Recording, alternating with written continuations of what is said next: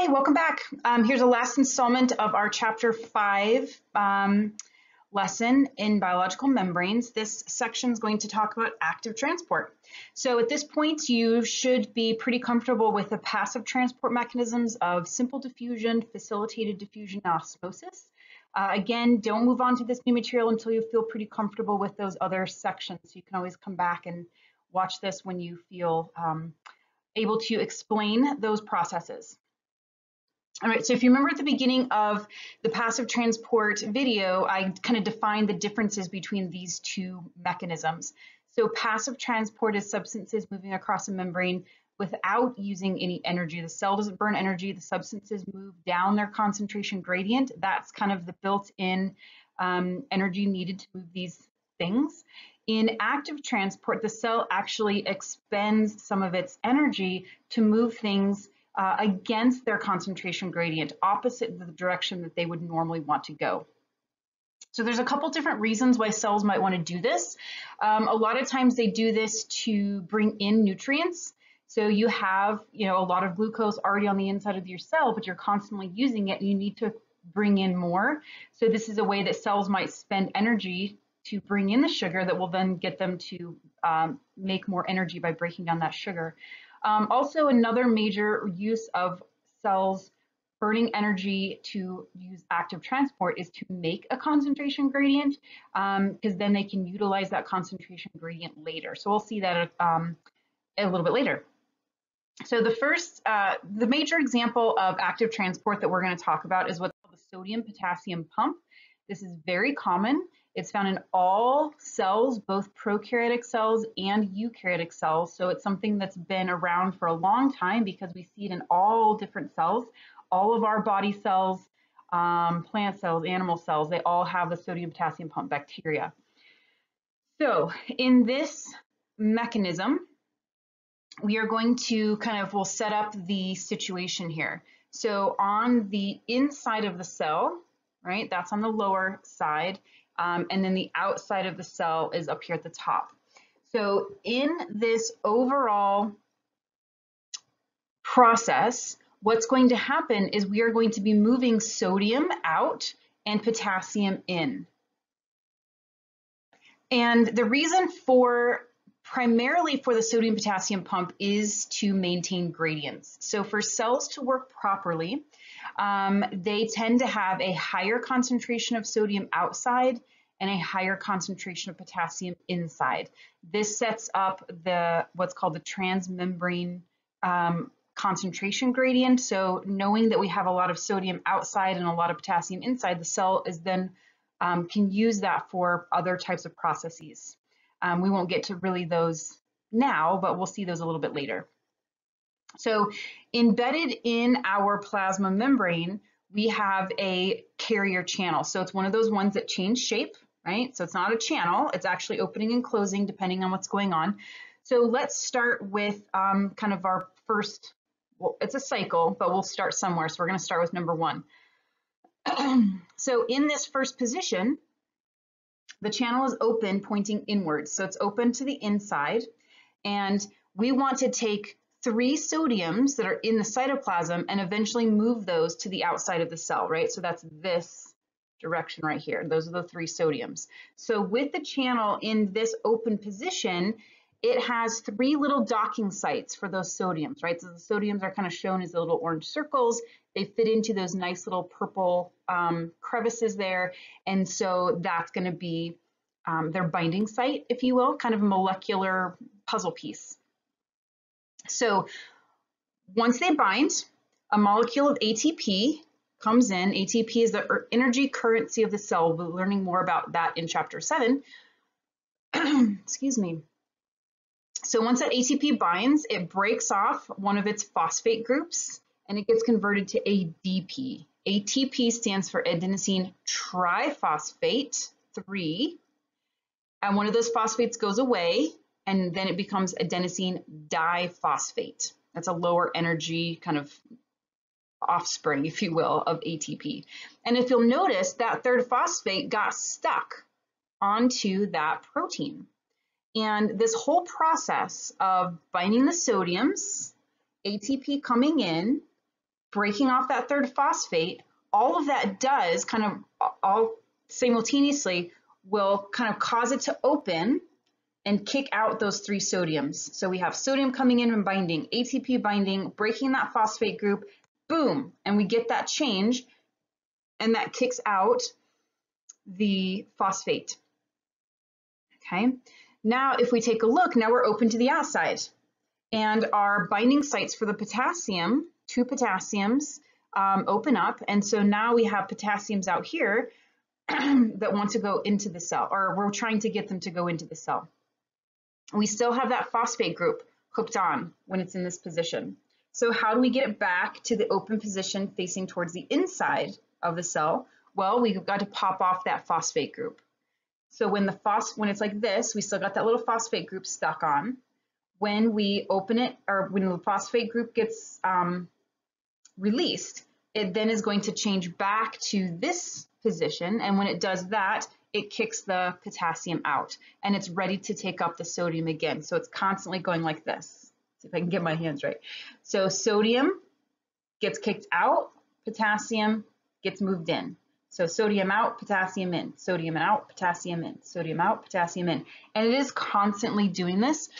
That is one of the things that we use our ATP for to maintain this concentration gradient. So I have a picture of this guy's shirt. Now, one of the, the um, drawbacks of not having in-person classes is I don't wear my, I have a whole bunch of cool sciencey t-shirts that you guys would have gotten to see. Maybe I'll wear some in the uh, other lectures. But I put this up here because I don't have um, active transport t-shirt, but they sell them. So um, outside of the cell, we have high sodium concentrations and low potassium. Inside of the cell, we have low sodium and high potassium. But the nature of active transport is to move potassium into the cell against its concentration gradient while we move sodium outside of the cell against its concentration gradient. So we can see that over here, right? So we have higher potassium inside of the cell, active transport moves it against the concentration towards the higher concentration. In the sodium, it's opposite. So we're always pumping sodium out and pumping potassium in. All right, so this is our the, the prime example of active transport. There's lots of different examples that we're going to be seeing in other uh, contexts within different organelles, but this kind of encapsulates the big idea is anything or any time you're going to move a substance against its concentration concentration gradient through these membrane channels, this is what we call active transport. It's like the swimming up upriver. You, if you just hopped on your inner tube at the top of the river and floated down, that would be like passive transport, using the gradient of gravity to let you flow down. If you hop on your inner tube at the bottom of the river and want to get to the top, you have to go against the gravity. You have to input energy like kicking or paddling or get a motor to move you against that uh, gravity gradient to the flow of water. So you can think of that maybe as an analogy that could help you um, understand this concept. Okay. Um, here's a couple other examples using um, active transport and what's called, called co-transport. So the sodium potassium pump we just saw is an example of this co, um, well not co-transport, it's what's called counter-transport. Co-transport is when two items are moving in the same direction. So if we take a look um, at the top example here, we have an active transport of uh, hydrogen ions in this, this pump here. So if you'll notice, we have a whole bunch of hydrogen ions out here and just a few hydrogen ions inside. And with the power of ATP, we're going to pump those hydrogen ions to a higher concentration gradient, right? So that's our active transport. Now, if we take a look at this co-transporter, the sucrose hydrogen ion co-transporter, what it does, again, this is one of the reasons why we might want to do active transport to build a gradient, because now this co-transporter, as hydrogen wants to go back down its concentration gradient, it grabs hold of, almost holding hands saying, come along with me, sucrose. And as the hydrogen is going back down its gradient, sucrose can come along. So sometimes our cells work in tandem that way in, all right, so let's spend some energy to make a hydrogen ion concentration gradient and then allow that hydrogen to go back down passively and bring in something with it passively. Um, and then sucrose is a, it's sugar, so it's an energy source. So the cell is willing to do that instead of just trying to actively transport sucrose. It might be more efficient to actively pump hydrogen and passively let sucrose flow back in with hydrogen. Um, this example down on the bottom is our uh, allowing glucose to come in against its concentration gradient, right? So I know my head's kind of in the way, but we have high glucose here and low glucose here. But if we take a look at the directionality of glucose, we see glucose wanting to go, or not wanting to, but um, is being moved in, and it's being moved in with sodium. So we have a higher sodium ion concentration outside the cell, and a low sodium concentration inside of the cell. So sodium, it's high outside thanks to the sodium potassium pump. Um, and so it is able to go passively down its gradient, but at the same time, it's bringing glucose against its gradient. And so again, just like this uh, co-transport at the top, the cell's spending energy to make a hydrogen ion concentration gradient to allow sucrose to come in passively.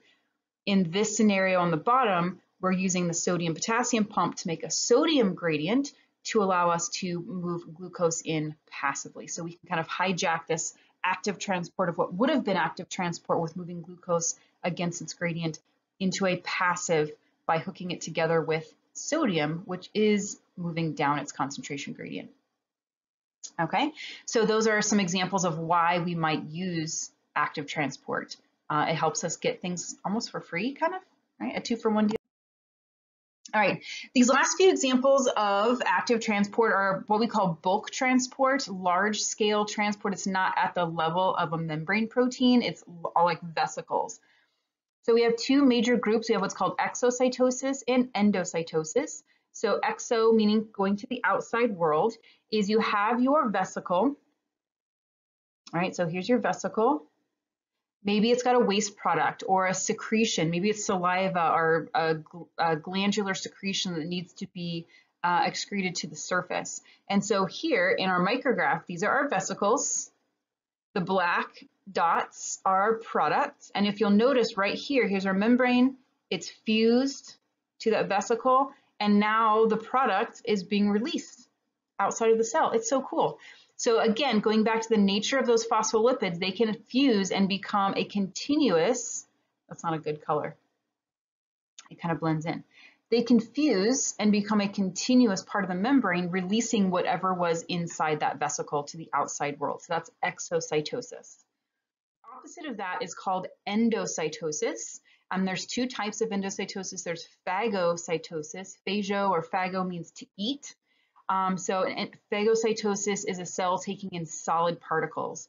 So if this was like a food bit or this was like a bacteria that we have down here in this actual micrograph or a amoeba is eating a big bacterium, that is the thing that's being taken in.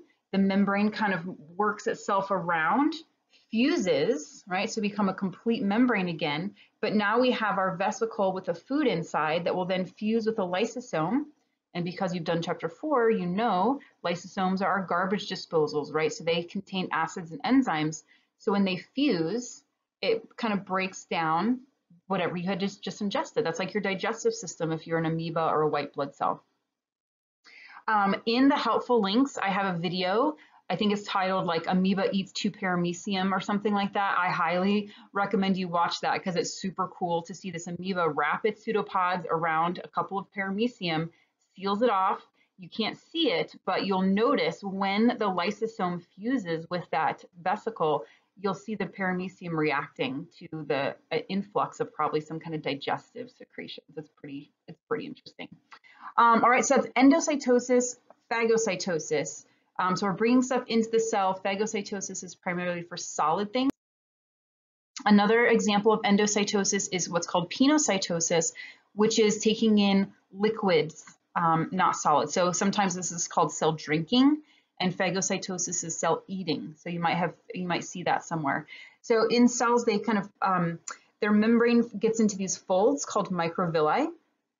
And if they're in a watery environment, the, those um, kind of spaces in between the microvilli can seal off into these little vesicles. And so now we have a pinocytic vesicle um, pinocytotic vesicle, and then whatever fluid they took in can just get released into the cell. So this is pinocytosis, a type of endocytosis, which is cell drinking. And we can kind of see that here in these little in, infolds that will eventually fuse in and take in whatever fluid is trapped in that little uh, infold. All right, so that is it. So we finished chapter five, yay! So these are really applicable processes. So I strongly encourage you to get super comfortable with um, membrane structure and function, uh, hypertonic, hypotonic, isotonic osmosis, diffusion, facilitated diffusion, active transport. We're going to be seeing those quite a bit, um, especially in chapter eight when we get to cellular respiration. We're going to really apply those concepts um, to that chapter. So send questions, stop by office hours, the Zoom office hours, uh, get help early and often, and I will see you next time. Bye.